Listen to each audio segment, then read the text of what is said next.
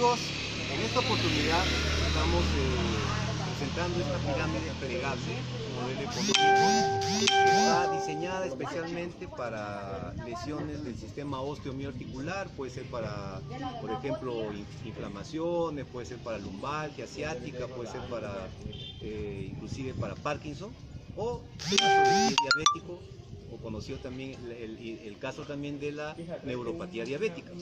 Esta pirámide es plegable, se puede llevar fácilmente, no ocupa mucho espacio, es de 55 centímetros de base, la pueden ver, y está hecha de eh, partículas de lo que sería aluminio en polvo, cuarzo molido, y está hecha, como se llama, en material de lo que se llama no- normalmente orgonita. Y de esta manera se puede atraer la energía solar en mayor proporción para que haga efecto en las personas, en los animales y en las plantas también.